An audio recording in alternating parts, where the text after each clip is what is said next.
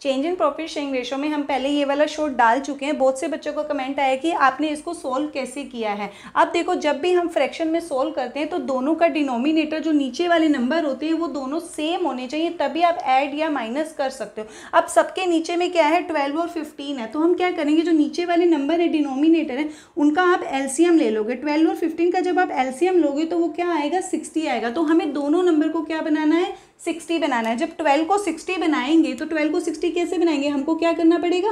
Five से multiply करने पड़ेगा। जो नीचे मल्टीप्लाई करोगे, वही सेम ऊपर मल्टीप्लाई होगा। अब फिफ्टीन को अगर आप मल्टी सिक्सटी बनाओगे तो क्या मल्टीप्लाई करना पड़ेगा? फिफ्टीन फोर द सिक्सटी होता है। तो सेम ऊपर भी क्या करना पड़ेगा? फोर से मल्टीप्लाई करना पड़ेगा।